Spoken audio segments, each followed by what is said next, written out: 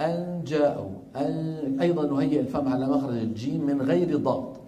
أن جاء. لما بنوصل للجيم بنضغط انتبهنا كيف؟ عبس وتولى أن جاء. لما بتقول جاء هنا تضغط. من شيء. أيضا نهيئ الفم على مخرج الشين. من ها اسمع. من أغلبه غنى ومعه صويت فموي. مي مو أكثر الآن في بعض الشباب طالعين بيقول لك ما ما بتلاقي ما شاء الله فاتح زمور من تمه ما بيصح هذا العمل ها؟ مي مي أغلبه خيشومي وصويت من الفم. من قبل تكلمنا عنها منذ قليل. الإنسان سهلة. الإن نهيئ الفم على مخرج السين. الإن من غير ضغط سا لما بقول سان عندئذ نضغط على السين الدال الدال هذه كمان الطاء والدال والتاء هدول الثلاثة الطاء والدال والتاء. هدول بيطلعوا من نفس المكان ما هيك؟ أطو أد أت. شو قال الجزري؟ والطاء والدال وتا منه. منه من مين؟ طرف ومن عليا الثنايا. أط أد أت. لما أخفي النون. عند هذه الثلاثة أقرب طرف لساني جدا من المخرج لكن من غير إغلاق يعني من غير قرع. انتبهنا كيف؟ يعني ما نقول من دوني. اسمعوا الخطأ. من الآن أنا شو عملت؟ قرعت بطرف لساني مخرج الدال. وإنما نقول من وين طرف اللسان؟ قريب جدا. نبه على هذا شيخ مشايخنا رحمه الله ابن البنا الدمياطي آه، العالم المصري الجليل صاحب كتاب إتحاف فضلاء البشر في القراءات الأربع عشر. قال وليحذر القارئ عند إخفاء النون عند الطاء والدال والتاء من إلصاق طرف اللسان فذلك خطأ. وطريق الخلاص منه تجافي طرف اللسان عن ذلك الموضع. وطريق الخلاص منه تجافي طرف اللسان عن ذلك الموضع. وهذا بيفعلوه المشايخ يعني. اسماع الحصري اسماع عبد الباسط تجد هكذا. من دون إلا من تاب. ولا يقولون من تاب بالإلصاق هكذا. مثلا وانطلق الملأ اللسان مهيأ على الطاء لكن ما هو؟ ملاصق. وانطاء فلما تصل إلى الطاء شو بتعمل؟ تقرع المخرج. وضح يا أخواني. أنا عم أقول هذا الكلام لأنه في ناس موجودين على الساحة بيقولوا من تاب. من دوني. وانطلق. شو بيعملوا يعني؟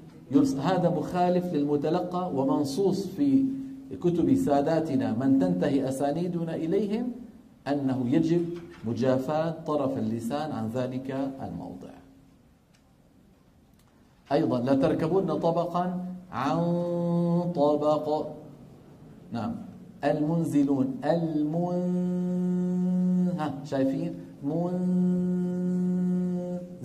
لما نصل للزاي نضغط. والحرف الأخير حرف الفاء. انظروا هذا الحرف خطير شوي لأنه بعض إخواننا ببالغوا في قرع الشفة السفلى بأسنانهم العليا بيقول لك وفي هذا الخطأ طبعا وفي أنفسكم أم شو بتلاقي عم يعمل؟ عم يضرب الشفة السفلى بأسنانه العليا الضرب وبالتالي شو عم يعمل؟ عم يغلق المخرج عم يغلق المخرج. فتنوب الأسنان العليا مناب الشفة العليا في إيش؟ في قف وإذا الصوت يكاد يكون ميم كأنه يقول وفي أنفسكم. انتبهنا؟ اسمع الخطأ. وفي هذا الخطأ ها؟ وفي أنفسكم. الآن أنا بأسناني بس بأسناني مو مو بالشفة. وفي أنفسكم الصواب. وفي أن أن أطراف أسناني العليا عند الشفة السفلى لكن من غير ضغط. الضغط إمتى بيبدأ؟ عند فو. لما بدك تنطق الفاء. وفي أنفو فو. لما بتقول فو عندئذ تضغط. وضح هذه هي حروف الإخفاء. ولا بقي شوي؟ من تفوت أو من تفاوت. شرحناها لما تكلمنا على التاء. ومنضود أيضا منضود أيضا نفس الموضوع. الضاء انظر. نعم. طيب. معنى كون الإخفاء حالة من الإظهار والإضغام شرحناها اليوم. هذا مكرر. المطلوب وعم... هاي بدكم تنتبهوا لي عليها شوي. المطلوب عمله عند النطق بالنون المخفى. واحد تهيئة الفم على مخرج الحرف الآتي. المثال الموجود هنا إخفاء النون عند مين؟ عند التاء والدال. لاحظ بأن طرف اللسان لم يلتصق بمين؟ بمنبت الثنايا. الأمر الثاني غير التهيئة. يصاحب ذلك غنة كاملة الطول من الخيشوم. شوف. شايف هذه الغنة اللي عم تطلع؟ ولاحظ أنه الطريق الفموي مفتوح. لكنه ضيق. لذلك شو عم نسميه؟ صويت. الصوت منين عم يطلع؟ من الخيشوم. هذا أغلب الصوت. وفي صوت ضعيف لكنه موجود. الصوت الفموي ضعيف لكنه موجود. وضح إخواني؟ نعم. يصاحب ذلك غنة كاملة الطول من الخيشوم. ويصاحبه أيضا صويت من الفم. شو سببه؟ بسبب عدم إغلاق أو انغلاق مخرج النون اللي هو الجزء اللساني. إلا في القاف والكاف. ليه؟ لكمال الانغلاق عندهما. لكمال الانغلاق عندهما. شايف الصوت الفموي؟ أو الصويت بالأحرى؟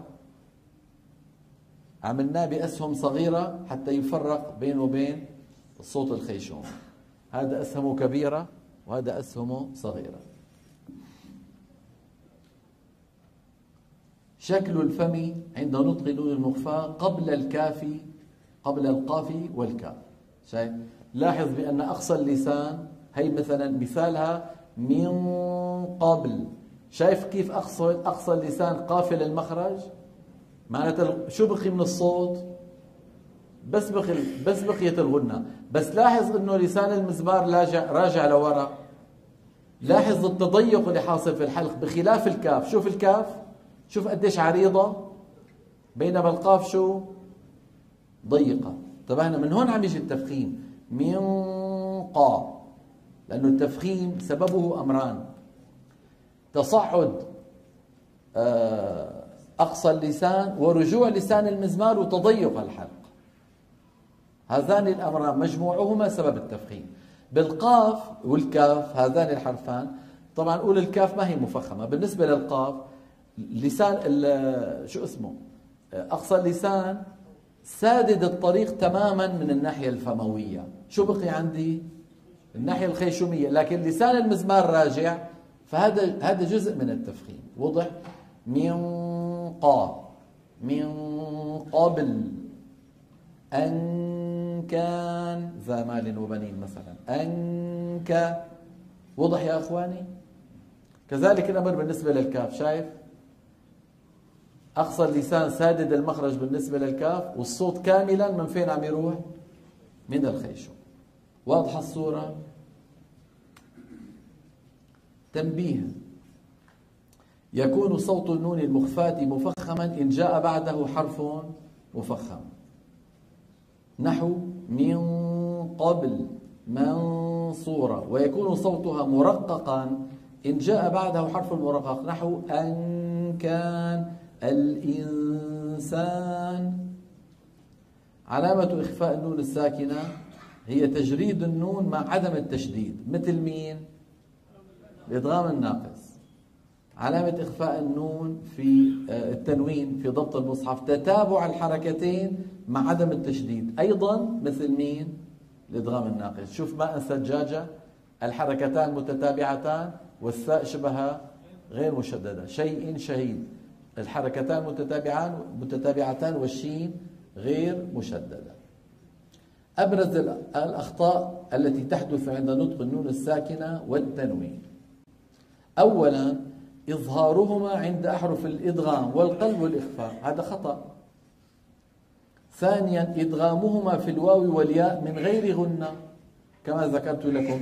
يعني كثير من الطلبة شو بيقولوا؟ ميو ولي ولا نصير. ميو. هذا أتى بإدغام ولكنه فاته إيه؟ الغنة. الأمر الثالث ترك فرجة بين الشفتين عند قلبهما ميما مخفى وهو أمر محدث كما أسلفنا. أربعة جعل الفم على هيئة واحدة عند أحرف الإخفاء جميعا. هي اللي شرحت لكم إياها منتشرة بباكستان وببنغلاديش وبالهند. خمسة تطويل زمن غنتهما زيادة عن المطلوب.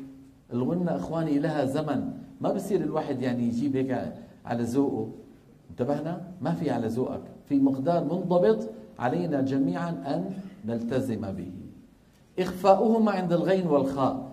آه، في غير قراءة أبي جعفر هذا يعتبر خطأ. عند أبو جعفر ما هو خطأ لكن عند غير أبو جعفر خطأ. انتبهنا؟ يعني مثلا يقول أجر غير وإن لا شو أجر غيره شو الآية الكريمة؟